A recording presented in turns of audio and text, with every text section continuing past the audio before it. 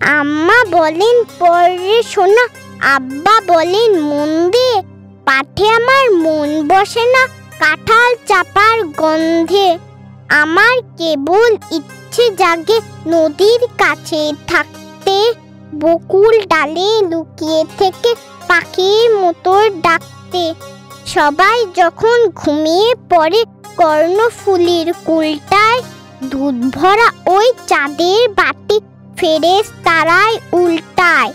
তখন কেবল ভাবতে থাকি, কেমন করে উড়ব, কেমন করে শহর ছেড়ে সবুজ গায়ে ঘুরব। তোমরা যখন শিখছ পড়া মানুষ হওয়ার জন্য, আমি না হয় পাখি হব পাখির মতোর বন্য।